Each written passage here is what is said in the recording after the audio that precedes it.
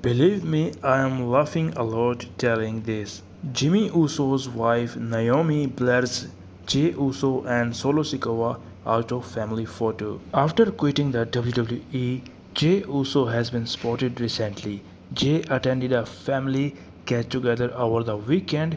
Jimmy Uso and Solo Sikoa were also there along with their members of the Fatu family. The Usos might currently not see eye to eye in WWE, but they remain as close as ever outside the ring. The former's wife, Naomi, posted about the get together on her Instagram story. One of the picture is of Jimmy Jey and Solo Sikoa with their families. However, Naomi hilariously blurred out the faces of Jey Uso and Solo Sikoa in the picture she posted, maintaining the hot streak of the current bloodline situation.